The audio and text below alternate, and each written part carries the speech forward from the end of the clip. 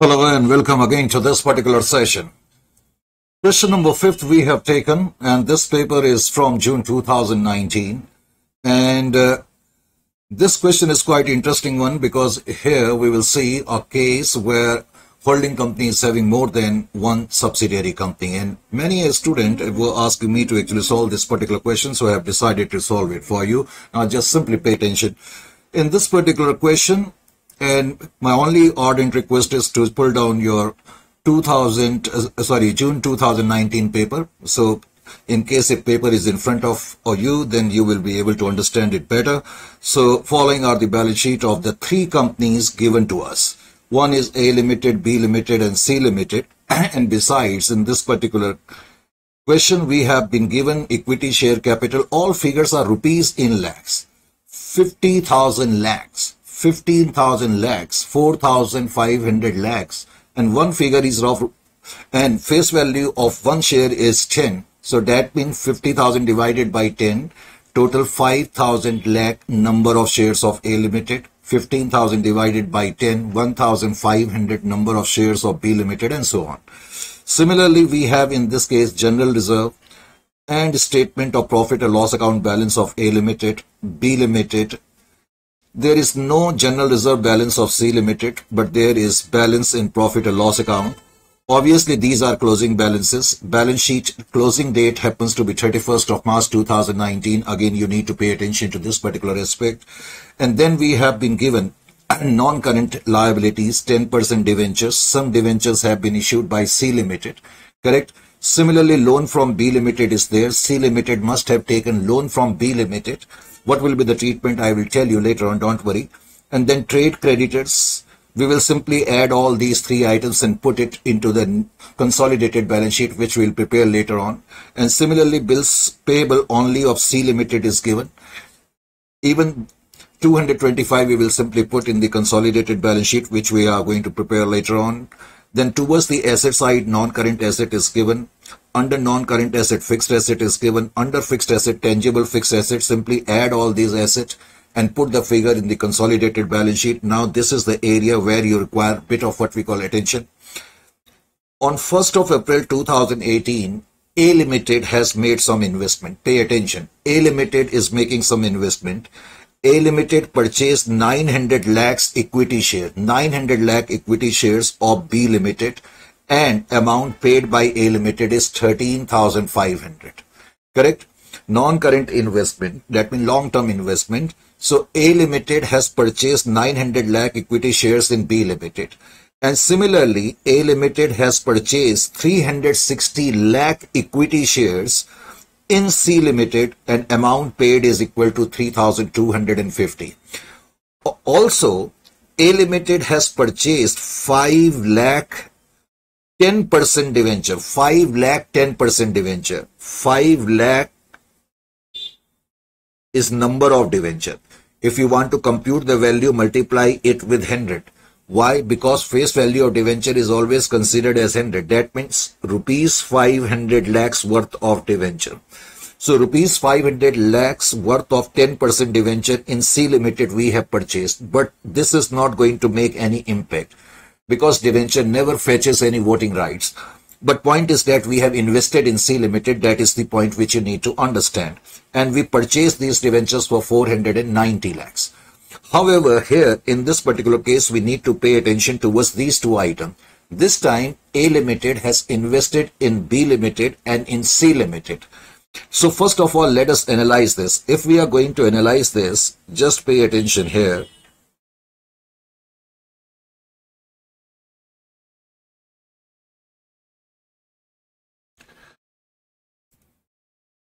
Mm -hmm.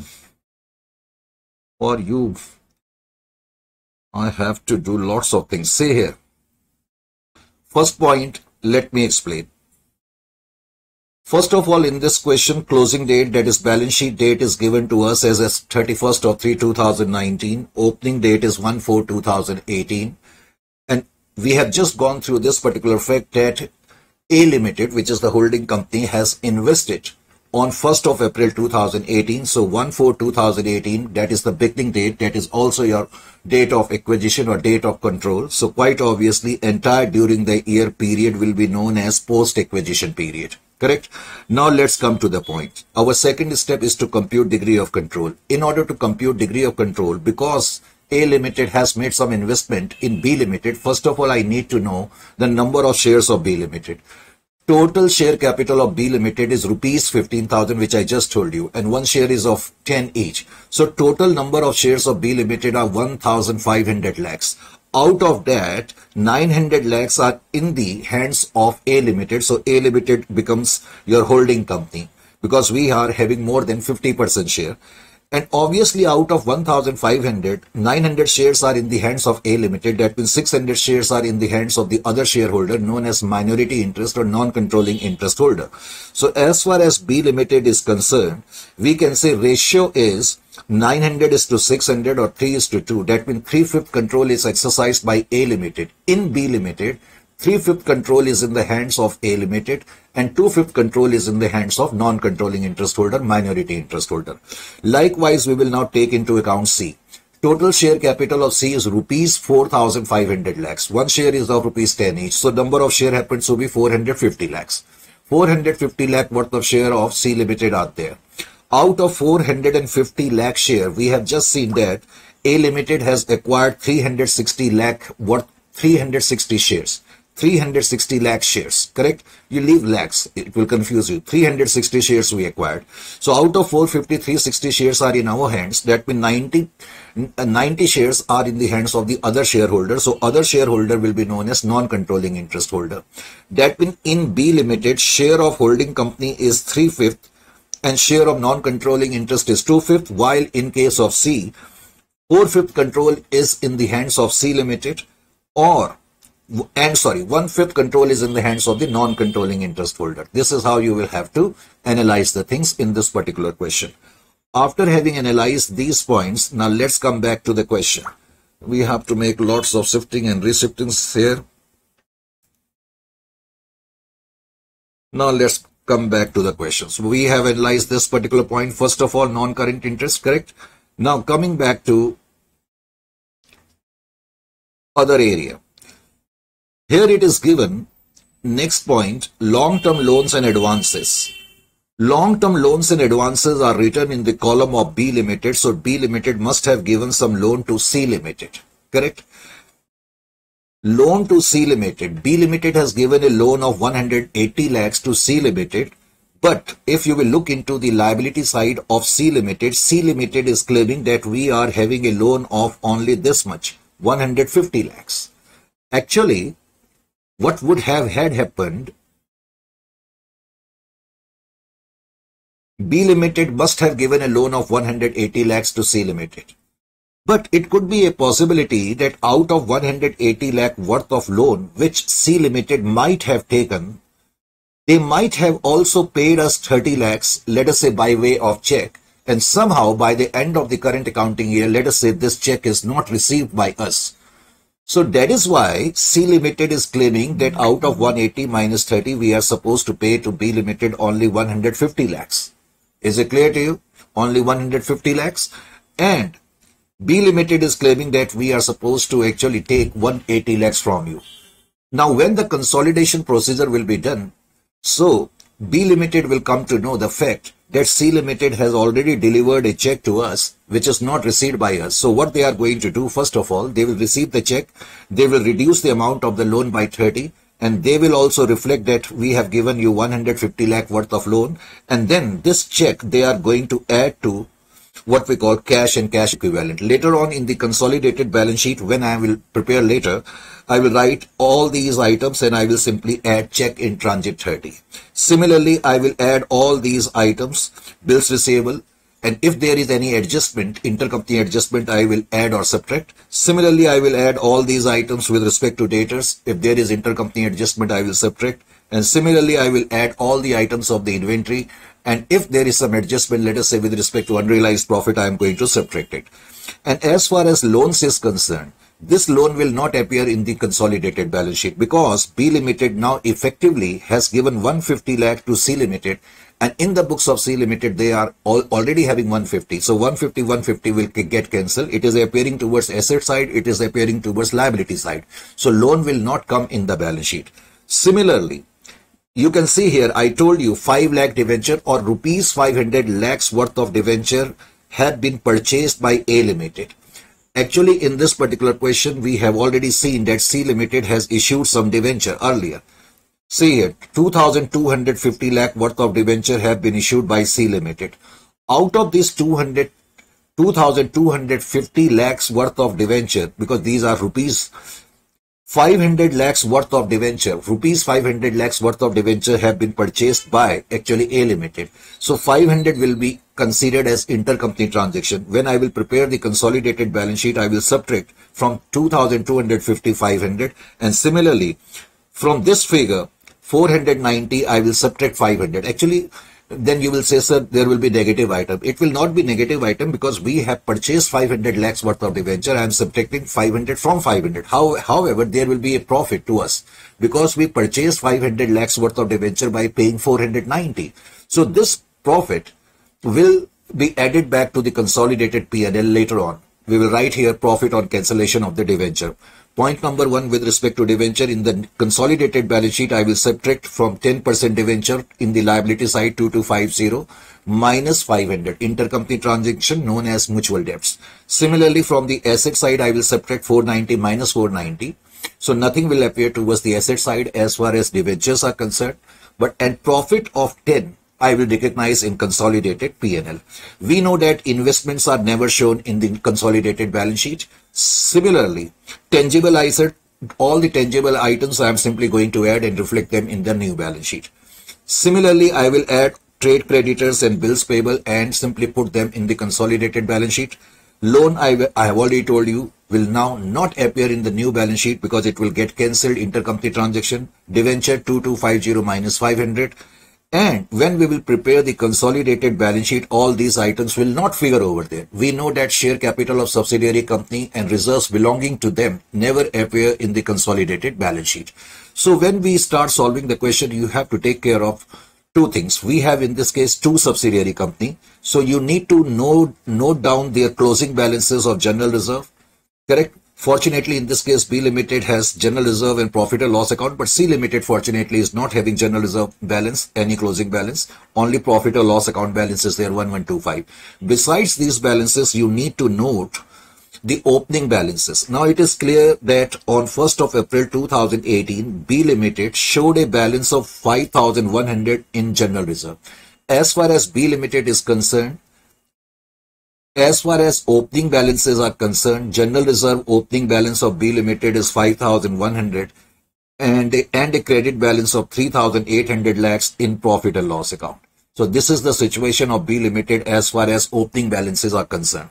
However, as far as C Limited is concerned, C Limited is not having any general reserve balance, only profit and loss account balance and it is written that on the same date C Limited is having a debit balance of 540. So you are going to write here debit balance of 540 opening balance. So you have to note down opening balances and closing balances. This is the position of opening balance of B Limited. This is the position of balance of C Limited. Further, in this question, it is given that all the bills payable appearing in the books of C Limited. We have just gone through the question and we have seen actually that Bills payable in the books of C Limited are to the extent of 225. Now question is telling that out of 225 worth of bills which C Limited has issued in favor of B Limited. Obviously these are bills payable for C Limited but these are bills receivable for B Limited. Now question later on is telling that out of these 225 bills 20, 225 lakhs worth of bill which C is claiming that it has to pay to B Limited so B Limited, what B Limited has done, out of total bills available with B Limited, B Limited has now discounted 65 lakh worth of bills. Discounted 60 lakhs worth of bills. It means now out of 225 lakh worth of bill, 65 lakh worth of bills are in the hands of some other party, say bank. because B has already discounted these bills. Discounted means B must have got them in cash and obviously from bank. So now 65 lakh worth of bills are in the hands of the other party. This 65 lakh cannot be treated as intercompany transaction. Only such bills which which each party are having and which each party are having in the sense means now out of 225 lakh worth of bills, C Limited has to give 65 lakh to the bank and remaining bills will be considered as intercompany transaction. If I subtract 65 from 225, I will be left up with 160 lakhs. That means now only 160 lakhs worth of bills are such ones available with the C, which C Limited has to give to B Limited. So when I will prepare later on consolidated balance sheet, I will subtract 160 lakh because these are the bills which are still C supposed, which is still C Limited is supposed to pay to B Limited and 160 also I am going to subtract from what we call bills receivable. So that is the only thing you have to do. Further, it is given that C Limited remitted 30 lakhs by means of check to B Limited in part of the loan. That was the point I was trying to tell you at that time. B Limited has given a loan of 180 but C Limited has reflected this loan at 150 because C Limited has already given us a check. So C is not wrong. So C is correct. Loan amount is 150 because out of 180 they have repaid 30. But now B Limited will come to know the fact that C Limited has remitted 30. They will subtract 30 from 180. Now 150 loan will be there. And this 30 will be added back to cash as I told you in the form of cash in transit. And this 150, 150 will get cancelled and loan amount will not appear in the new balance sheet. This is point number third. Point number four. Stock of B Limited includes goods worth purchased by A Limited for rupees 260 lakhs. B Limited might have purchased some goods from A Limited correct for 260 lakhs and which was owing also on 31st of March 2019. So B Limited might have purchased these goods on credit. So 260 lakh worth of amount B Limited still has to pay to A Limited. So it will be considered as intercompany transaction with respect to debtors and creditors. And when we'll prepare the consolidated balance sheet from the total of debtors and creditor, I will subtract 260, 260 number one. And question is also telling that all these goods, 260 lakh worth of goods are still in stock.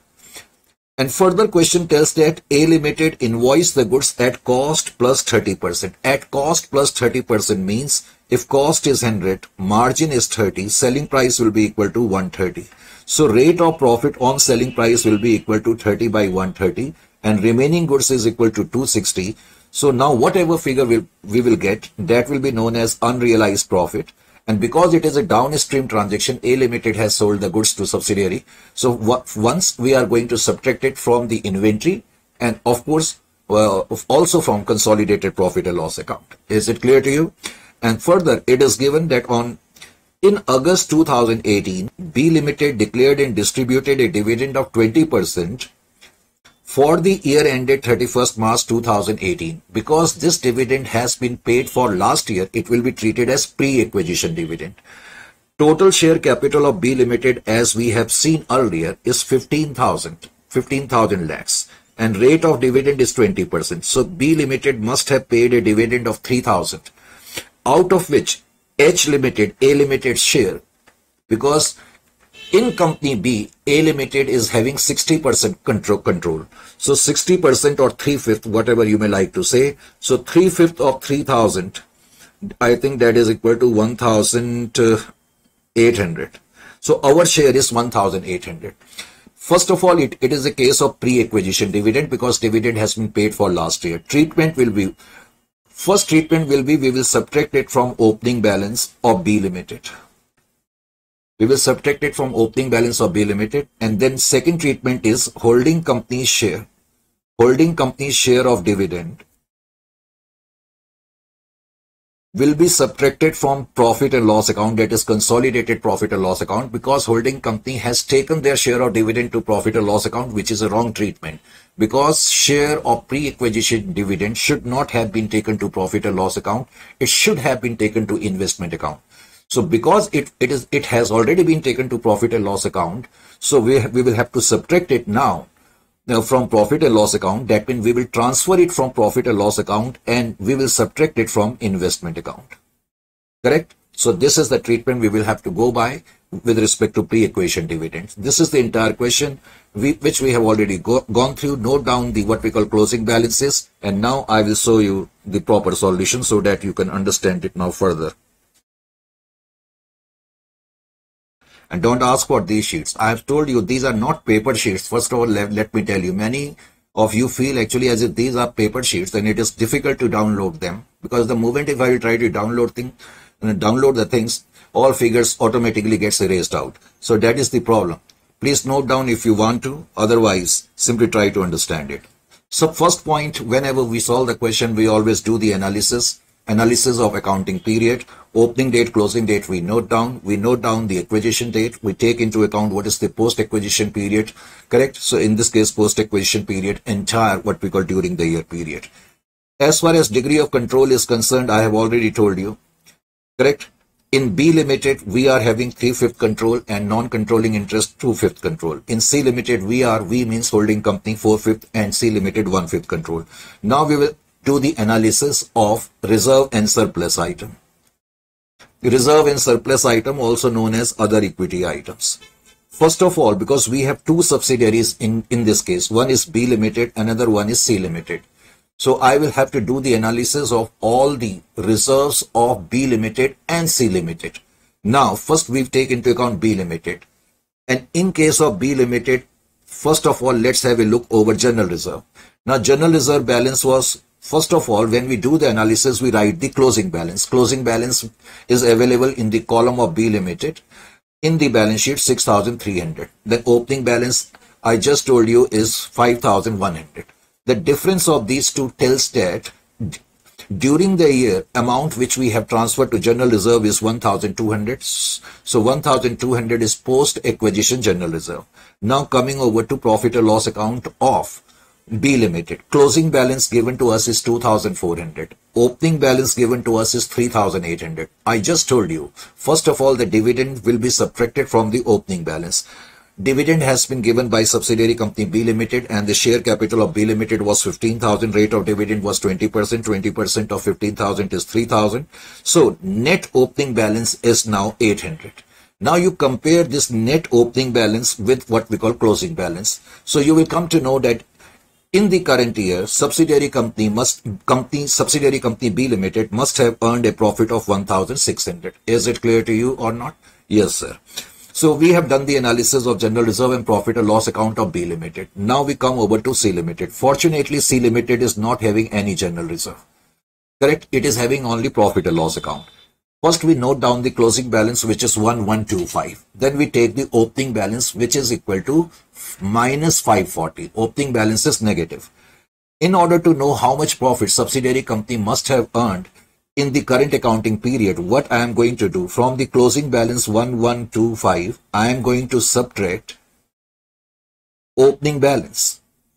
And if I would subtract, then I will get a figure of 1665. This is positive. So in the current period, subsidiary company C Limited must have earned 1665 worth of profit. Is it clear to you or not? Fine then.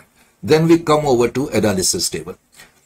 Basic purpose of preparing the analysis table is to somehow get the figure of current assets, uh, net assets of subsidiary company on the date of acquisition. When I say we are preparing analysis table, indirectly what we are trying to do, we are trying to find out the equity balance. The equity always means net assets. Net assets balance of subsidiary company on the date of acquisition. Is it clear to you? And for that, what we normally do, first of all, we write on the date of acquisition and we ask a question to ourselves, what is the share capital of subsidiary company? Because there are two subsidiary company. First, let me pick up B Limited. So, share capital of B Limited, 15,000.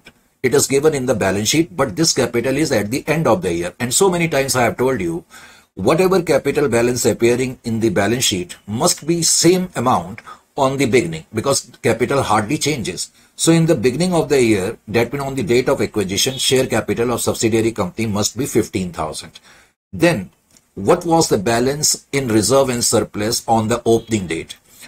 In respect of B Limited, profit and loss account balance in the beginning is 800 we just computed earlier. 3800 was the balance. After deducting 3000 dividend we will be left off with 800 and general reserve opening balance is 5100 so that means this 20900 what does this figure suggest? It suggests the net assets of b limited on the date of control or on the date of acquisition is equal to 20900 and in the net assets of B Limited on the date of control, I will say that holding company share 3 fifth will be equal to 12,540 and share of minority interest or non-controlling interest will be equal to 2 fifth 8360.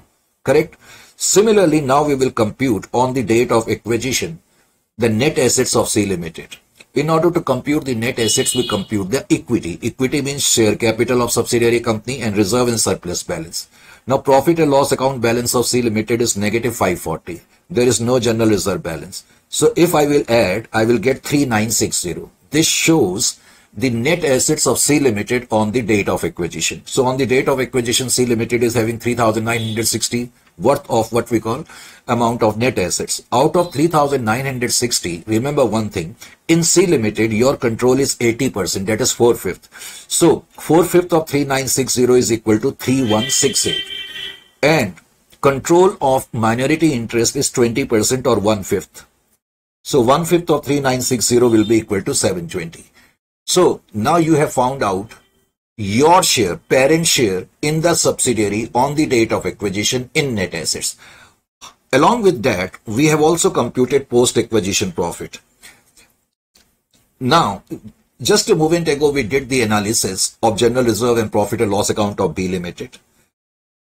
In the current year, amount transferred to general reserve was 1200 by subtracting opening balance from closing balance we got 1200 here we did correct this is general reserve 1200 post acquisition and post post acquisition profit or loss account is 1600 of B limited. This is exactly what I have written here 1200 and 1600 post acquisition profit that is general reserve and profit and loss account.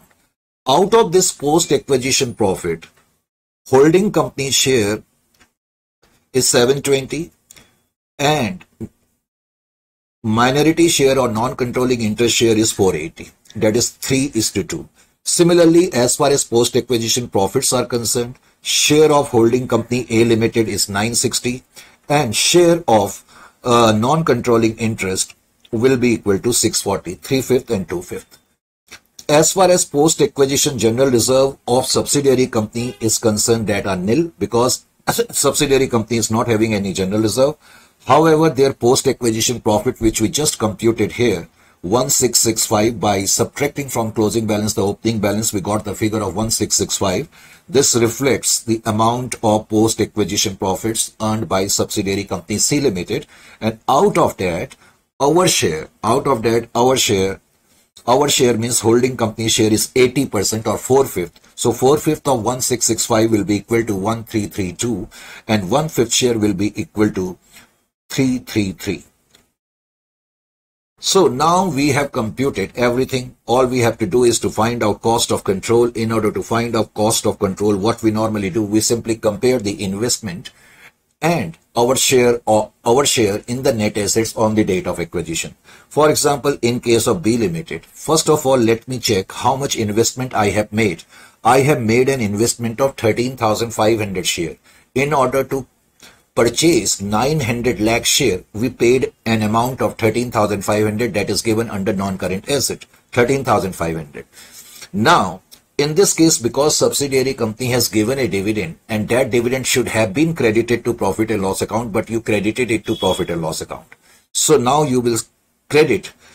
Credit means you will subtract it from investment account. So dividend share has been subtracted Total dividend paid by subsidiary company is 3000, subsidiary company B Limited. And in B Limited, your share is 60%. So 60% of 3000 will be equal to 1800. So you will subtract 1800. Your net investment is 11700. In company C, you have acquired 360 lakh shares and you have made or you have paid an amount of 3250. This is the investments. Now, you have made an investment of 11,700 in B Limited and we have just computed share in net assets on the date of acquisition in B Limited is 12,540. This is what we computed here, 12,540. Total net assets of B Limited on the date of acquisition is 20,900. Your share is 12,540. So you will subtract it and you will get capital reserve because share in net assets is higher in comparison to consideration. Similarly, as far as C Limited is concerned, your consideration is 3,250 that is investment, but your share in C Limited, see net assets of C Limited on the date of acquisition is equal to 3960 and your share is 3168 so you are going to subtract 3168 here you will get goodwill because amount of investment is more than what you are getting in the share. So that is how you will compute capital reserve. You can show capital reserve under reserve and surplus and you can show goodwill as intangible asset or you can also simply show net capital reserve because amount of capital reserve is higher in the consolidated balance sheet. Now we come to minority interest or non-controlling interest holder. Because in this case there are two companies. First of all we compute on the date of acquisition what, what is the amount of non-controlling interest holder. see in b limited on the date of acquisition total net assets of b limited 20900 and share of nci is 8360 first of all you write that on the date of acquisition 8360 is your non-controlling interest. And then whatever profits b limited earned in the post-acquisition period, your share, you simply add it. For example, we have just computed that post-acquisition general reserve of B Limited is 1200 and NCI share is 480. So I will add here 480. Post-acquisition share, I will add 480. Similarly, I am going to add my share in post-acquisition profit. So by adding it, the non-controlling interest amount with respect to company B will be 9480. Similarly, First of all, on the date of acquisition, what is the minority interest in C Limited? On the date of acquisition means on the date of acquisition, C Limited was having total net assets of 3960 and NCI share is 720. So that means NCI interest on the date of acquisition is 792 and then whatever profit subsidiary company C Limited earned during the year, out of that, your share is 333. You are going to add it so your amount will be this much. By adding these two figure, you will get the total amount of non-controlling interest which you will reflect it in the balance sheet. As far as preparation of balance sheet is concerned, very simple. Equity share capital only of A Limited will come in the balance sheet. Subsidiary company B and C Limited share capital will not find place. Now, we will write reserve and surplus. While explaining the question, I also told you that in consolidated balance sheet, we never write share capital of subsidiary company and reserve and surplus of subsidiary company. So when I will write here reserve and surplus, I will take into account the balance of profit and loss account of parent only. So first, as per the balance sheet, A Limited's profit and loss account is 17,000. Basically, it is consolidated P&L we are preparing. I will subtract the amount of dividend. I told you as far as dividend treatment is concerned, First of all, total dividend will be subtracted from the opening balance, number one. Then share of dividend of holding company will be subtracted from profit and loss account and will also be subtracted from investment. So we will subtract it from consolidated profit and loss account. Now, share of share of holding company in the post acquisition profits of B Limited is 960.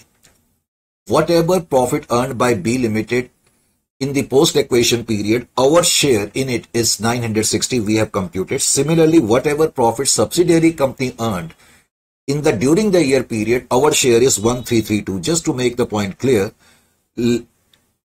just to make the point clear, see here. This is the situation of post-acquisition profit. Profit and loss account of B Limited is 1600. Our share is 960. So I have added it. And similarly, post-acquisition profit of C Limited is 1665 and our share is 1332 and we have added it. Similarly, when I will compute the general reserve, I will add 720. Now, this is consolidated P&L we are preparing in the balance sheet, 17,000 minus dividend plus our share in the post-acquisition profit and we will subtract the unrealized profit and I will add the profit on debenture cancellation. As I told you, 500 lakhs worth of debentures were purchased by me for only 490. So now I will recognize that dividend because dividend amount is now cancelled. So total amount of profit and loss account which will appear in the balance sheet will be equal to 17,432. Similarly, you will write the consolidated general reserve. You will write the A Limited's general reserve which is appearing in the balance sheet. Now, post-acquisition share in general reserve of B Limited. Because C Limited is not having any post-acquisition general reserve, you are simply going to add 720. Total general reserve which will appear in the balance sheet will be equal to 62720. Capital reserve 840 I have shown, so I will show goodwill later on. Minority interest I have already computed. 10% debenture I told you. I have written here net figure actually. I have told you whatever figure is given in the balance sheet, you will subtract 500 from it. Similarly, trade creditor. You will add all the trade creditor which is given to you and from there you will subtract 260 because there was a transaction related to intercompany transaction with respect to debtors and creditor. So you will add all the items of the trade creditor and subtract 260 the net figure you will get this month. Correct? Now as far as bills payable is concerned, total bills payable in the liability side is 225, 225. An intercompany transaction is 160. So 225 minus 160 you will subtract and you will get this figure. And towards the asset side, Simply add the tangible fixed asset and then don't forget to write goodwill. Then you have been given four current assets also. You simply add all those assets. But at the same time, when you will write the inventory, for example, I will simply show it in this manner to you because just wait. Come back to the question. So these are the four items as I was talking about at that particular time. I will add all the amount of the inventory and I will compute the unrealized profit. What was the amount of unrealized profit? I have forgotten 260 into 30 by 130. How much it will be equal to? Let me compute. That will be equal to 260 into 30 divided by 130. That is 60. So 60 you are going to subtract as unrealized profit. That means you are going to add all these items, subtract unrealized profit of 60 and write the net figure. Trade debtors, you add all these items. There is intercompany transaction with respect to uh, 260. So you will subtract bills receivable. Add all the item intercompany transaction is 160. Cash and cash equivalent, add all the items and don't forget to add check in transit 30. Similarly, when you will write bills payable, write 225 less intercompany transaction, then write the net figure. Trade creditor, add all the items, deduct intercompany transaction 160 with respect to debtors creditor, I told you. Then loan amount will not appear in the balance sheet, I have already told you. 10% debenture, 2250 minus 500, write the net figure which I have written 1750. And this is the amount of general reserve wherein we did some what we call adjustment to general reserve and profit and loss account. I have already shown you and equity share capital. This is how we have to do such questions in case if such questions strike in the examination. You cannot expect such question to strike in the examination especially if you are having a new course. Remember one thing. Among those who are watching these videos, if you have new course, kindly, kindly wait for a day or two. Then I will start what we call uh, model paper analysis series. I will solve the model paper recent, recently issued by the what we call institute. So those paper will hold you in a good state because basically these sessions are primary primarily for students who are having who are having 2016 course. Is it clear to you? And any anyone among you having new course, kindly do not attempt, do not attempt any single paper, any single past paper it will hamper your studies otherwise. Correct? Simply attend the, simply attempt what we call your model paper series. So these are the points and uh, uh, on such count we take leave of you as far as today's session is concerned. Shall meet you in the next session then.